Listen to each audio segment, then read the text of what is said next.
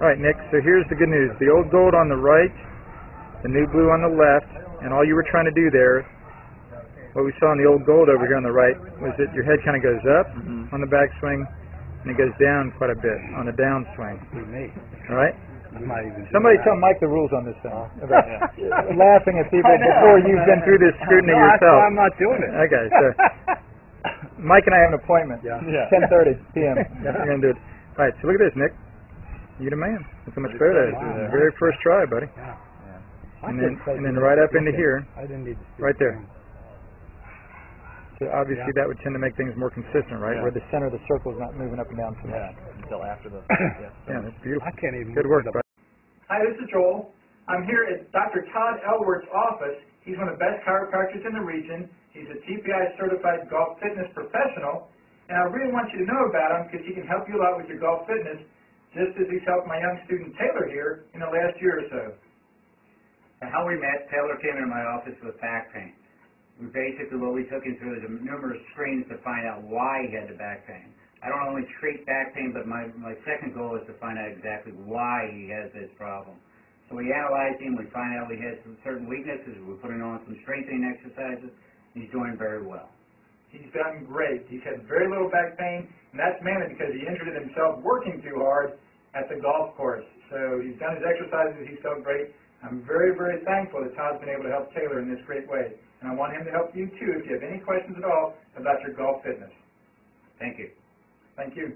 This is Joel Suggs. I sure enjoyed meeting you down at the Cincinnati Golf Show this weekend and showing you your swing on the 2D equipment that I have. And so I want to take about two or three minutes to just show you around Meadowlink. This is the studio I use in the winter for all my students. You see there's the down-the-line camera angle for our 2D equipment. And then we have the face-on camera angle also. And then what we also have here is 3D equipment to where I can show you your swing from six different camera angles with this 3D equipment. And we can get your swing from down to the 1/20th of a, 1 120th of a second in terms of exactly what your hips, shoulders, and hands are doing in the swing. And then also, I have the most realistic hitting curve I've ever seen from puttersedge.com. So when you hit your full shots, it feels as realistic as possible. And then I have three different green speeds for you to practice your putting. 9.5 on the Stimpmeter, 10.5 on the Stimpmeter, and 12.5 on the Stimpmeter. That's benefited my students tremendously. And then also I have a lot of learning aids like this Smart Stick. You can see the rest of those learning aids over here in my bag that we can work on to help you learn the certain fields in your golf swing that you and I both want.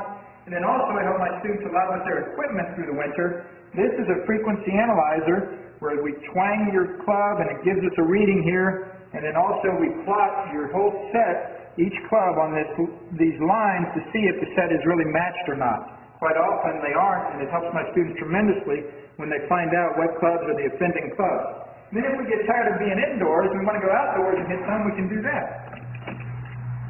It's my daughter. Ellie, good to see you. I haven't seen her in weeks.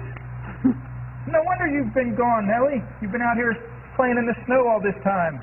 But this is our natural turf area. This is closed until April, as you can see. Uh, but it's a fantastic area where we can step outside and hit some balls and get some real ball flight.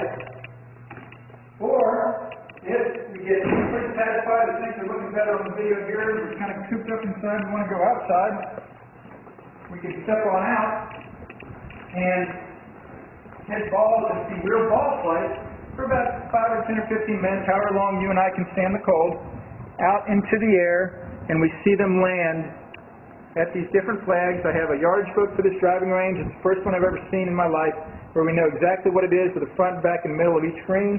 And again, the covered area here is heated, so we stay out there for about 5, 10, 15 minutes, like I said. It ma- enables us to see some ball flight, and then we get satisfied that things are looking the way we want, and we come back inside, take off our coat, and look again at the video equipment to see how your swing's looking, to make sure that you understand it.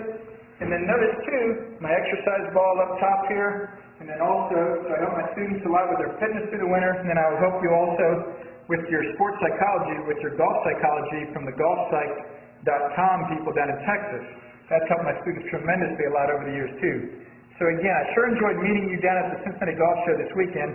I look forward to seeing you again out here this summer at Meadowlinks, or even right now in the winter. I have a lot of people that work on their games with me right through the winter. Check out more information about the things I do to help you at joelsuggs.com. Take care.